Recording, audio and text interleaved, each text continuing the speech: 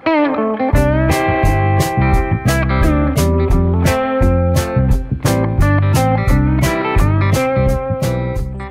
วียเบลลาตอบแล้วหลังถูกถามเรื่องแต่งงาน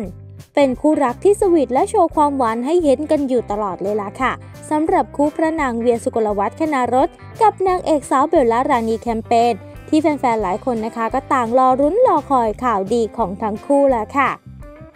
โดยล่าสุดนะคะ account แฟนคลับหนึ่งค่ะเวียร์เบลล่า family นะคะก็ได้ย้อนคลิปสัมภาษณ์ของทั้งเวียร์แล้วก็เบลล่าเมื่อพี่ๆนักข่าวถามถึงเรื่องการเซอร์ไพรส์ขอแต่งงานทำเอาใครหลายๆ คนนั้นฟินกันแบบสุดๆไปเลยละค่ะ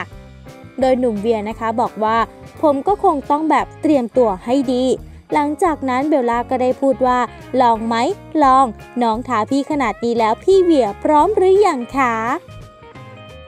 เรียกได้ว่างานนี้นะคะ ก็เป็นการนำคลิปนั้นมาปล่อยให้แฟนๆนั้นได้ฟินกันยกใหญ่เลยละค่ะ ต่างคนก็ต่างรอลุ้นรอเชียร์นะคะว่าเอ๊ทั้งคู่นี้จะมีข่าวดีกันเมื่อไหร่ละค่ะ พอนับวันทั้งคู่ก็ชอบมีโมเมนต์สวีทหวานๆ ออกมาให้แฟนๆ ได้อิจฉาตาร้อนเผากันทั้งโซเชียลกันเลยทีเดียวแล้วค่ะ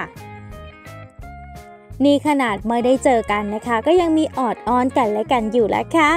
เอาเป็นว่าถ้ามีความคืบหน้าอย่างไรนะคะทางเราก็จะรีบนำมาอัปเดตให้เพื่อนๆได้คอยติดตามกันทันทีเลยละค่ะ และถ้าไม่อยากพลาดข่าวสารดีๆ แบบนี้ ก็อย่าลืมกดไลค์กด Subscribe กับช่องของเรานะคะ ทุกวันบันเทิง เพื่อที่จะได้ไม่พลาดข่าวสารที่เรานั้นนำมาอัปเดตให้เพื่อนๆได้คอยติดตามกันค่ะ